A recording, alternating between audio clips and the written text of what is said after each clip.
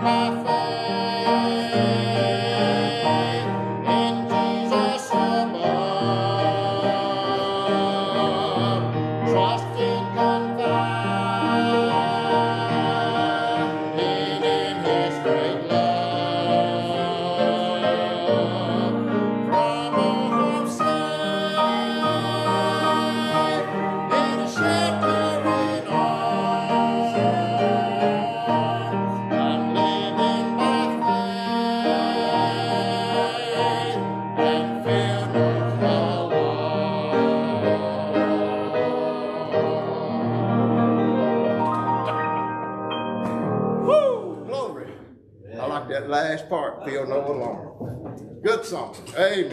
Good singing tonight.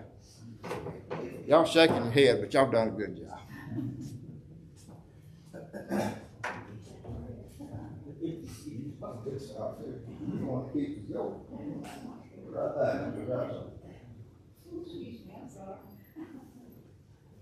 Oh, y'all sang that, didn't you? Or as a group? Living about. Oh, that wasn't a group song? No, we never. Used to sing that along with, uh,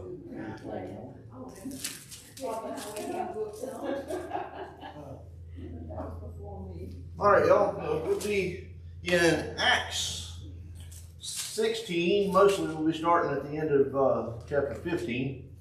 We'll go ahead and be heading over there in your scripture. I want to talk to you tonight about the unplanned church at Philippi. Um, a little bit of a, a, strange way that I come to to get into this uh, to this lesson. I want to. Uh, well, and, and, I promise I didn't plan this. Maybe God did. I don't know. But um, it, it kind of fits in in my lesson tonight. I, I've been thinking in my head, you know what, I'd like to do a study, I might do a series on, on, on First Peter. Because I've never done a, a Peter study before. But as I was trying to study in Peter, it just wouldn't come together. And, you know, through circumstance, I ended up in, in Philippians a couple of times, and I think we're going to go through Philippians. And so we're going to start tonight with the uh, the beginning of the Philippian church, and uh, you know, so that's just the way it kind of kind of worked out. So we'll be looking at that tonight and probably leading into uh, maybe some Sundays and Wednesdays in, in Philippians, uh, chasing joy here before long. So um, I have this theme. I've, I've said it before. See if you remember this. It's good to have a plan. It's wise to know that God can change that plan at any point, right? That's it. It's something that, that I've seen happen so many times in my life, and I'm sure that you have too. So, uh, so let's get into this. Remember, bear that in mind as we uh, as we look into these verses. We'll just start in, in Acts chapter 15 and verse 36, all the way to the, uh, the end of the chapter. Not quite all the way to the end of the chapter, but uh, but towards the end. Acts chapter 15, verse 36 uh, says this, we're looking for the uh, the original plan of this trip that they're going on. It says, and, and some days after, Paul said to Barnabas, Let us go again and visit our brethren in every city where we have preached the word of the Lord and see how they do. All right, so what was the original planned agenda for the upcoming mission trip that Paul and, and his was going to take Barnabas on? Go to every city where they preach. Yeah. So they're going to check on the churches in cities where they've already been to. That's the, the original plan. This, this trip, we're going to go back to the churches, uh, preach there, build them up, see how things are going. So, so from the start, Paul did not intend for this to be a trip in which new churches would be started. It wasn't the intention. Um, you know, that being said, I'm sure Paul was open-minded and always looking for that opportunity to do that, an opportunity to share the gospel as as always, because we know what kind of man that, that Paul was. Um, it's a good thing that he kept an open mind if he did, because uh, God is going to totally change the personnel and the direction and the objective of this whole trip that they're about to go on. All right. So thinking along those lines, you know, when we plan to do things and we come up with ideas and stuff, who can who can honestly say, I really just love it when what I plan to do doesn't work out? Almost nobody would ever say that initially, uh, you know, because most people we, we, we hate change or we dislike it. Let's use that word. We dislike change. We don't want to change direction. We've got an idea where we're going, what we want to do. So change is, is uncomfortable. Um, but when the change, when the plan is changed by God, how often does it work out for the better? 100%, right? It always comes out better. Now, does it always seem better on the surface right at first? no. Sometimes it can be quite uncomfortable. Uh, I mean, I was just thinking of a an off the top of my head example. You know, just say I, I planned to start a business and I was going to make a lot of money. I never had that plan myself. All right, but I, this is my plan. I, I start a business. I'm going to make loads and loads of money. But through no fault of my own, I ended up losing everything. You know, if something like that happens, it's hard to see the good in that, right? Now, it just seems like it's all bad. But any, even in things like that, for the child of God, there is good in it somewhere. It will eventually work out to that good. It's a, it's a promise from God. Now, could we not agree that sometimes, even in things like planned ministries, and remember, everything, those spiritual gifts we've been talking about, really, have been popping up over and over. Ministry, one the week, you know, a, a planned ministry, and everybody can have a ministry. If you plan to do something for God, affecting other people, it's a ministry. All right. So even in things like a planned ministry that doesn't work out according to to our plan, it could be because of some misdoing on our part. Know, we have to think about that. Sure, we have to be aware of that. Certainly, we don't want that sort of thing to happen, you know, but, uh, you know, thank God that He foreknows our shortcomings. He already has a plan to deal with them. But, you know, that is a fact that sometimes we mess up the plan. All right?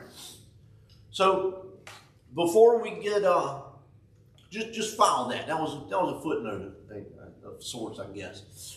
I need to back up just a minute before we talk about how God changes the plan.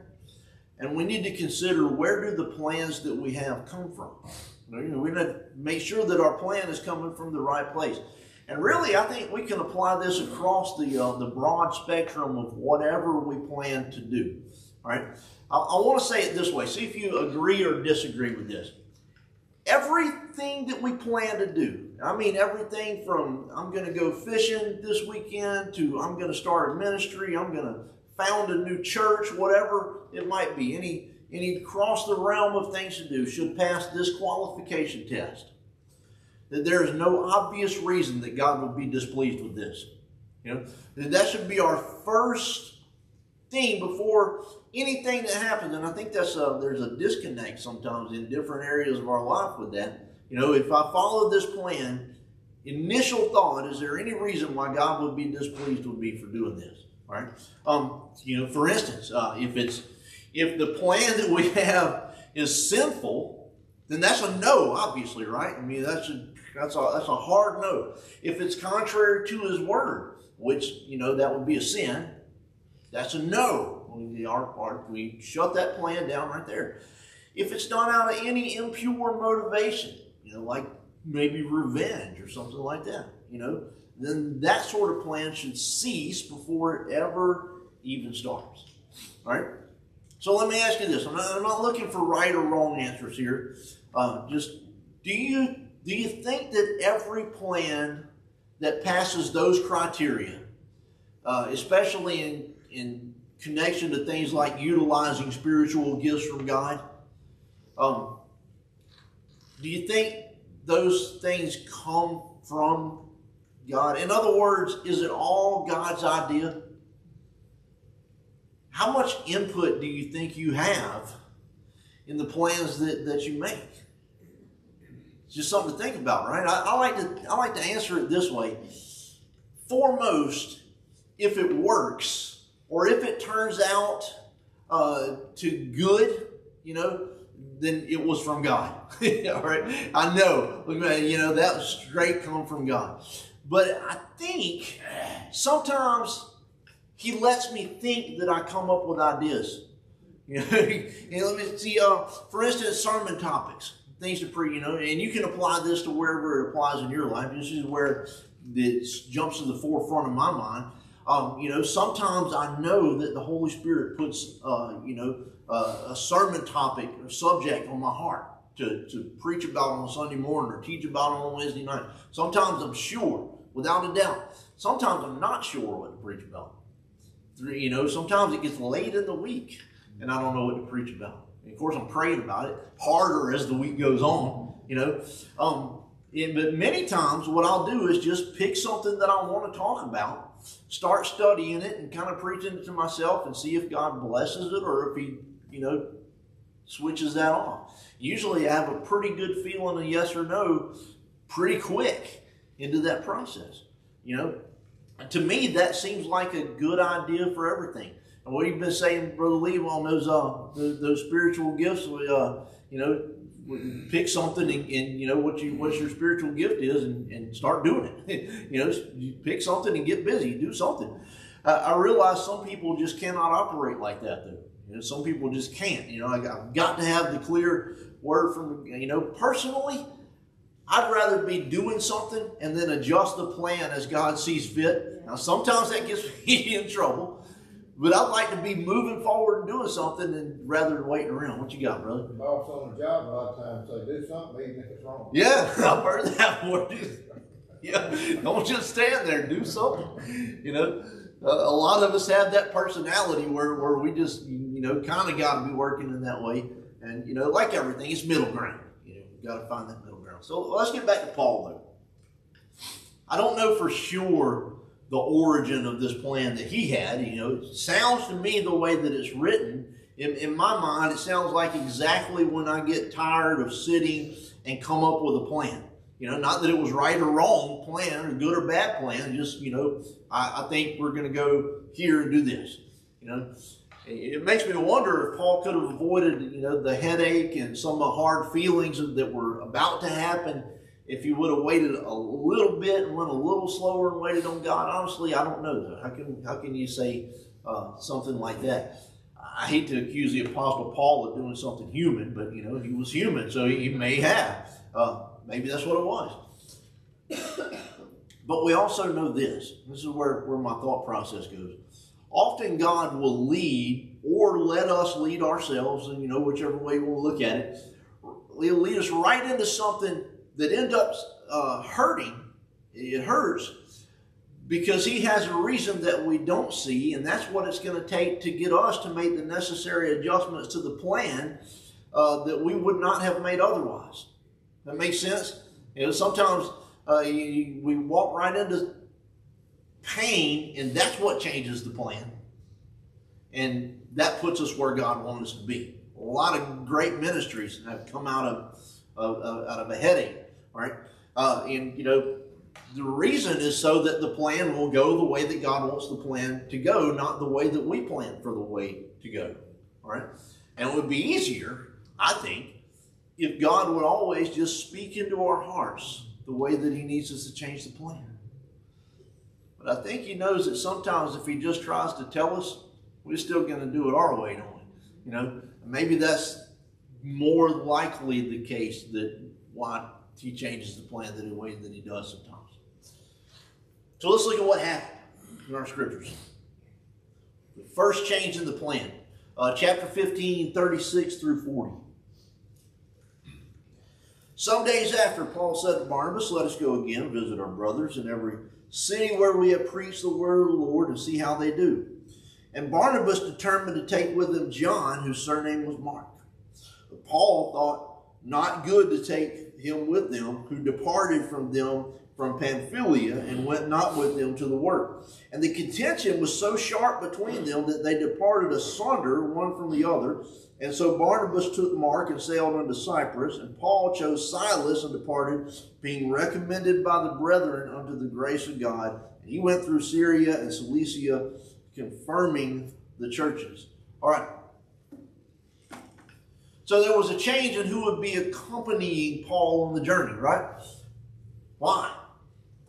Well, on the surface, what we see is it was because of the conflict between he and Barnabas. Um, uh, but we see how how well this worked out in the end. You know, two missionaries teams went out instead of one.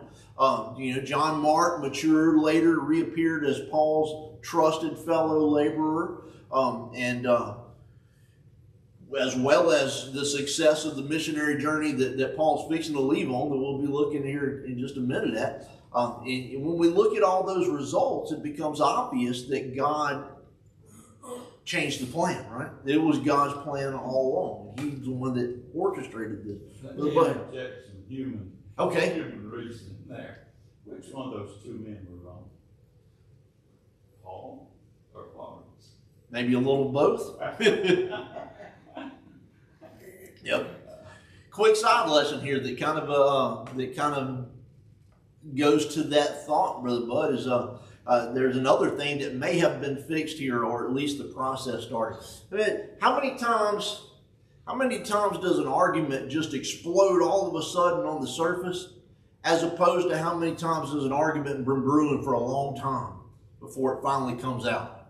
You know, I have a feeling, and it doesn't say this much, but I have a feeling that Paul and Barnabas probably needed to have this conversation for quite some time and needed to get that out. And I, I feel that way because I tend to be a conflict avoider myself, you know, and I read into these things. Um, you know, and, and that can lead to that situation where, where things, hard feelings just keep growing and growing and growing until one day they just spill out all over the place in, in a great big contention. I think Paul, um, was willing to show that he was wrong Yeah. When he said that bring Mark. I Yeah, later on, right? Yep. Isn't it a shame that sometimes it takes years for us to look back and say, uh, you know what, uh, maybe I was a little wrong there. Uh, but But, but the Lord did not let that affect yeah, the accomplishment of the ministry. if anything, he made it better because obviously Paul and Silas made a good team, and Barnabas and his guys were going and doing what they were doing. You know, so uh, you know, our Lord takes our uh, our humanity and makes it into what He wants to do with it, right? Um, And Mark had grown yeah. at that time. Sure. Um, you know, on that thought that I was having, some some people avoid uh, what needs to be addressed, while some people, on the other hand, address things that probably should just be left alone. So, as always, we got to hit that middle ground. Um, good news: after all the contention blew over, uh, it appears that everybody put all that stuff behind them in Christ-like maturity and and got on with the job. You know, so it all worked out. So, next change, still in personnel. Let's look at 14, verse. Not 14, we're going to 14, chapter 16. Oh, I know what I was trying to say. Verse 41 in, in that chapter, and, uh, and then we'll go through verse 3 in chapter 16. So Paul went through Syria and Cilicia, confirming the churches. And then he came to Derbe and Lystra, and behold, a certain disciple was there named Timotheus. We know him as Timothy, the son of a certain woman who was a Jewish and believed, but his father was Greek, which was well reported of by the brethren that were at Lystra and Iconium.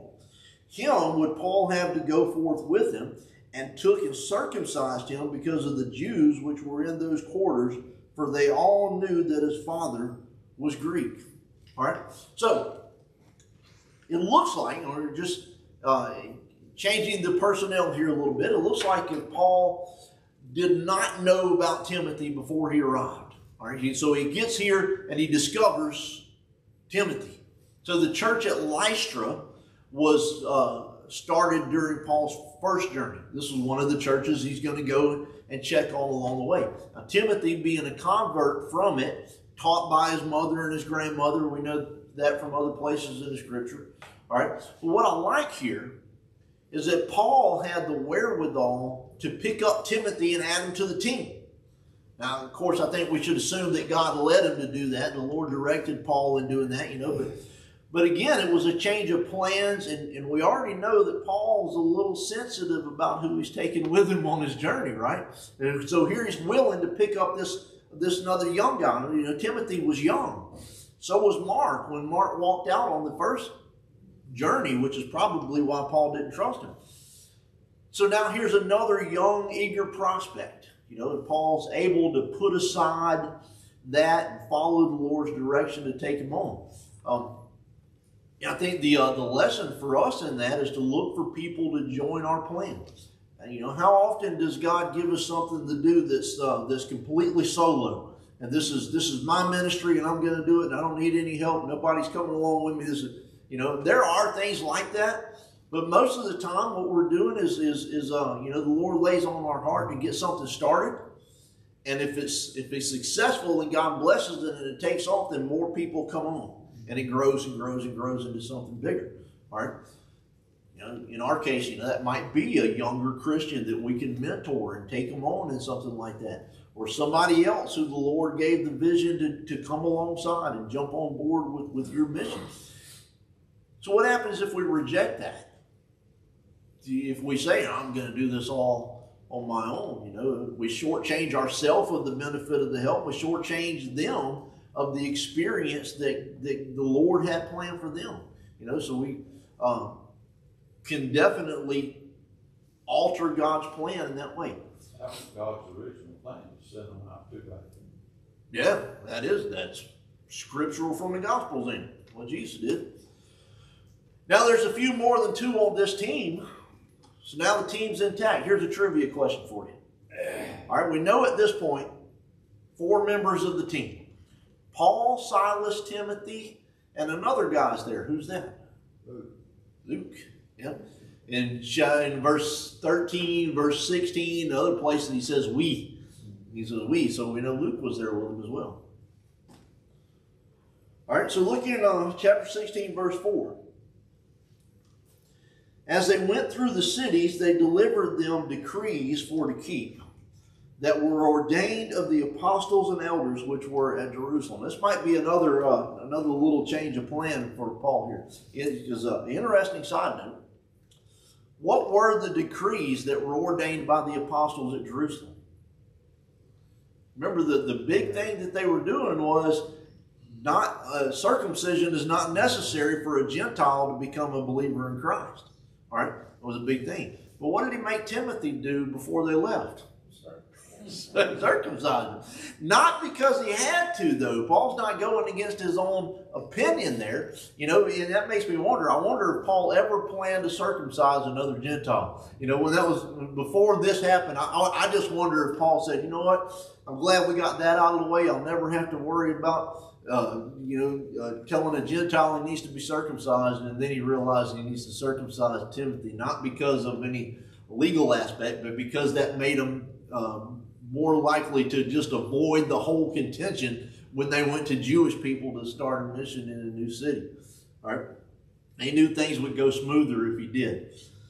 Uh, could be that both Paul and Timothy were, were willing to change plans there. And Timothy probably didn't plan on going through that step either for the benefit of God's plan.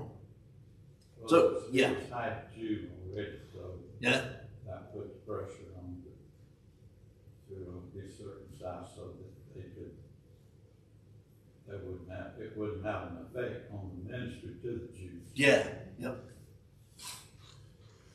So that covers the personnel changes, and then and then after that, the direction changes that they're going to go, and with that, the uh, the mission really changes as well. So let's look at, at uh, verse five through uh, through seven. Verse five says it.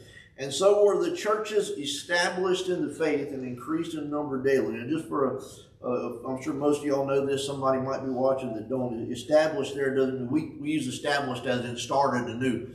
They're still going to the churches they've already been to at this point. So established means strengthened. They were they were going there and building up and strengthening in the faith. And those churches are their numbers were increasing. Now verse six says, when they had gone through Phrygia and the region of Galatia and were and were forbidden of the Holy Ghost to preach the word in Asia. And after they were come to Mysia, they essayed to go into Bithynia. That's where they wanted to go. but the Spirit suffered them not. And there's something interesting from missing from, from those verses there. All right. It says the Holy Spirit, basically, it says that he wouldn't let them go the rest of the way into Asia or Bithynia, but it doesn't say how. It doesn't say what the Spirit did to stop them. Why is it that the Bible doesn't always give us all the details of every story? Think about, I think a lot of times it's because we would only apply to that detail.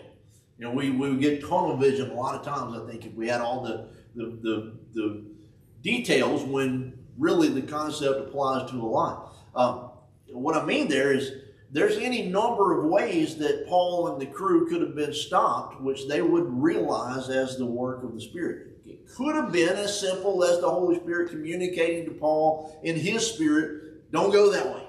All right? Could have been.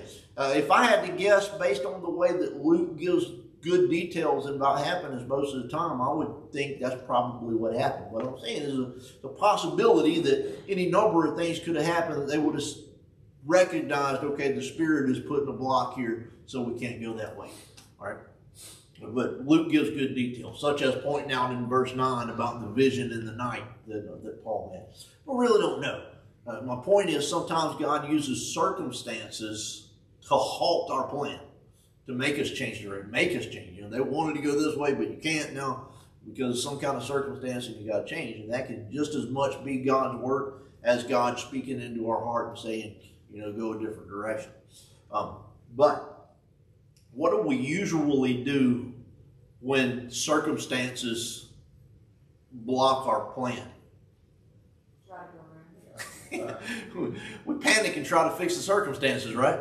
it's usually first option without considering that it may be the Holy Spirit changing the plan.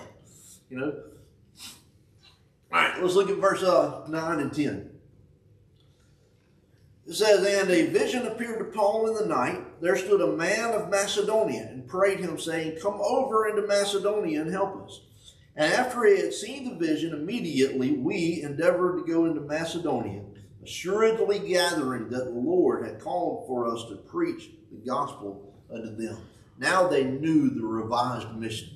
You know, I like how it stated in verse 10, assuredly gathering. They, they were sure. They were gathering in all the information, and now they were sure. Okay, I know this is where God wants us to go, and this is what He wants to. You know, a neat feeling uh, when you're sure that a plan comes right from God, when you get zeroed in on it, and now the, the doubt has faded away and you know this is what God that's that's just a that's a cool feeling to me you know to uh, to to know that. And you know what you're supposed to do. All the pieces are falling together and now it's finally time to put the rubber to the road and, and get moving. Um, it can be frustrating waiting on God's time can it you can. We all know that. Waiting for the right people to come on board, hitting stops when you want to go. You know that that stuff uh, can can get to us if we let it. Um, you know, and, and even when you're doing one thing, which may be a good thing, but you know you know there's more in store. You're just waiting for all that to uh, to get started. You know, so something here. You know, this is where the gospel turned to Europe. Mm-hmm. And so from Europe, where it spread. Here. That's right. So this is actually the trail that led eventually to the gospel coming to here. Uh-huh. This nation being able to be this, such a bright shining light. Amen. Have been for all these years. This is where it changed right here. Yeah. If, if they went the other way, it'd been up in into like the Turkey area and up in the Black Sea and up in that area. Yeah. Yeah. And not to say that the gospel never would have got here, but it's neat to look back and see that path in it. Yeah. Wow. That, that adds a little bit of encouragement right there when we see. I mean, I, am not saying that uh, one of our plans is going to change the world, but, you know, it might change somebody's world. We have heard the Macedonian Send the light. All right. I don't know who said this, a wise person. Who said it first? Who knows? Somebody said the journey is as important as the destination, right? so, so there, uh, we see those steps starting to play out. God always has a reason for every part of the process that we're going through. Good reasons, you know, reasons that, that make things happen according to His plan. uh, to place us in the right time, at the right place to accomplish His will. Uh, and, and I'll say this on the chance that uh, as we as we begin to wrap this up, and, and the chance that this comes across somebody that, that doesn't know Christ as their Savior through this video or whatever, uh, His plan is for you to repent and be saved. That is God's plan. He is not willing that any should perish, but all should come to repentance. And He's already moved things around so that you would hear this right now. It's probably not the first time that you've ever heard it either. You know, so get with the plan. Follow Jesus. Need help with that? Let us know. Be glad to help anytime. As for Paul and them, we won't go into, into these things tonight. We will in the future. The, the changes really don't stop there for Paul and, and the and the friends do they? You know, they go into Macedonia looking for a man from a vision. What do they find there? Rather than a synagogue where they would usually go and, and find the Jewish men, they they they find uh, down by the riverside uh, just a few Jewish women to uh, to start with. You know, and so that was a change. You know, and, although it happened a good bit, you know. Uh, somebody I, I was listening to a preacher and he said that uh, that somebody said that when Paul went into a town, he would go first and see what the prison looked like, so he'd stay where he was going to stay that night. You know, we don't know if that's actually true or not. That did happen, but he probably didn't plan to go there and get beat up and thrown in jail. You know, but that happened, uh, and it worked out for good. And that's one of the things we'll be talking about in the real soon future. All right, anybody got anything else to uh, to add about the, uh, the beginnings? Interesting that the Bible, uh, Paul, Paul uh, they don't call Yeah. John Martin, uh, you- uh, we don't know what they done. Mm-hmm. I'm sure they was done good, and later on, like, everybody's been saying John Martin going to the crowd back. Yeah. God's plan was right here. Yeah. Of course, we know Paul, what he got, he was for the Gentile. Yeah. I think a lot of that is due to Luke. Yeah. Yeah, yeah. The writer was going with with, with Paul. Uh, yep. Good point. Good stuff. All right, I enjoyed the lesson. I appreciate y'all. Let's uh shut this down and we'll dismiss the prayer.